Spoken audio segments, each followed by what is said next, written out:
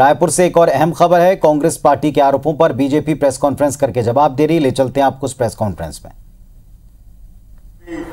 जी के ऊपर आरोप लगाया है। वास्तव में आदरणीय प्रभारी जी का वो मंतव्य नहीं था। जिस तरह से हमारा चिंतन बैठक में सारे नेताओं का एकजुटता दिखा और हमारा संभागीय सम्मेलन बहुत अच्छी संख्या में उत्साह के साथ संपन्न हुआ तो एक कार्यकर्ताओं में जोश भरने की दृष्टि से आदरणीय प्रभारी जी का वो वक्तव्य था। आ, लेकिन उसको ये लोग तिल का ताड़ बनाकर पूरा भ्रम की स्थिति पैदा कर रहे हैं। आज ही का खबर है कि उम्र कैद की सजा काट रहे कांग्रेस के नेता सज्जन कुमार की जमानत सुप्रीम कोर्ट ने रद्द कर दी है और सबको मालूम है कि उन्नीस सौ चौरासी में जब श्रीमती इंदिरा गांधी की हत्या हुई थी तो राजीव गांधी जी ने कहा था कि जब कोई बड़ा पेड़ गिरता है तो धरती हिलती है। तो ये सब नफरत फैलाने का काम है, कांग्रेस का ये काम है।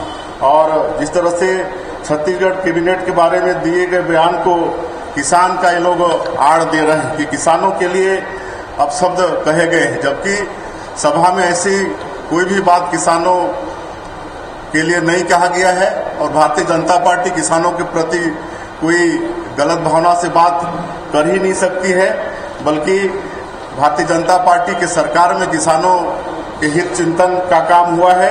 लेकिन आज हम यहाँ की कांग्रेस सरकार से पूछना चाहते हैं कि आज जिन किसानों के बदौलत लोग सरकार में आए हैं, आज किसानों का हाल इस प्रदेश में क्या हो रहा है?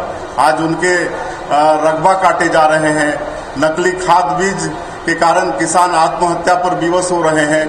धान बेचने में उनको कितनी कठिनाई हो रही है? आज उनकी चिंता करने के बजाय आज वो भारतीय जनता पार्टी के ऊपर आरोप लगा रहे हैं। आज ढाई साल में 500 से ज़्यादा किसान आत्महत्या पर, आत्महत्या करने पर मजबूर हुए हैं। ये इस कांग्रेस की सरकार का चरित्र यहाँ छत्तीसगढ़ में है। आज रोज प्रदेश में सात आठ दुष्कर्म के मामले हो रहे हैं। शराबबंदी का वादा करके लोग घर घर शराब पहुँचा रहे हैं जिससे माता बहनों का जीना भी प्रदेश में दुभर हो गया है। और इस तरह से नाकामी छिपाने के लिए इस तरह से लोगों को भ्रम पैदा करने का प्रयास कांग्रेस के द्वारा किया जा रहा है। आज आ, इनके विधायकों में मंत्रियों में आपस में झगड़े चल रहे हैं।